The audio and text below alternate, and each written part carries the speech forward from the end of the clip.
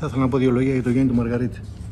Επί τη ευκαιρία και επειδή είμαστε εδώ σήμερα, θέλω να πλέξω το εγκόμιο του Γιάννη του Μαργαρίτη, ο οποίος ε, έχει υπερβάλει αυτό και όλα αυτά τα, τα δύο τελευταία τουλάχιστον δύσκολα χρόνια που ζήσαμε την πανδημία έχει φέρει παραστάσεις εξαιρετικές και έτσι να κάνουμε και μια ιστορική αναδρομή τα εμφύλια έπι, το γάλα, Καποδίστριας παραστάσεις οι οποίες ήταν καταπληκτικές θέλω να ευχαριστήσω τον Γιάννη για την ευκαιρία και να, και να πω ότι εμείς ως Δημοτική Αρχή εμπιστευόμαστε τον Γιάννη και ευελπιστούμε ότι στο μέλλον θα, θα φέρει παραστάσεις ε, οι οποίες θα, θα ανεβάσουν το, μάλλον θα, θα ανεβάσουν το διπεθέ εκεί που, του, εκεί που του αρμόζει, εκεί που του αξίζει.